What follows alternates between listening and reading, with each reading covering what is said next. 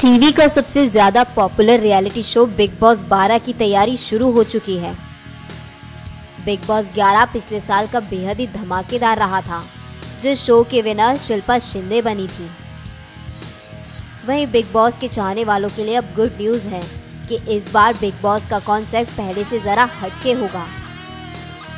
जी हाँ शो के फॉर्मेट में बदलाव किया गया है। और ट्विटर पर पोस्ट करके इस बात की जानकारी दी गई है कि बिग बॉस बारह जल्द ही आने वाला है और इस बार शो में कपल एंट्री होगी, यानी सभी कंटेस्टेंट जोड़ियों में आएँगे।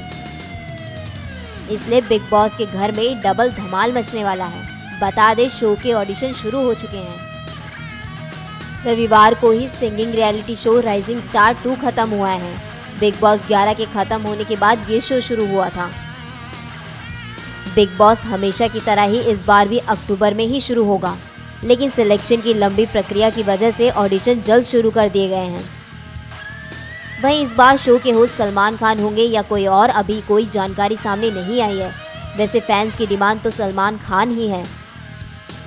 तो ज़ाहिर सी बात है, इस बार भी शो में होस्ट सलमान खान ही होंगे। वायरल किड़ा न्यूज़।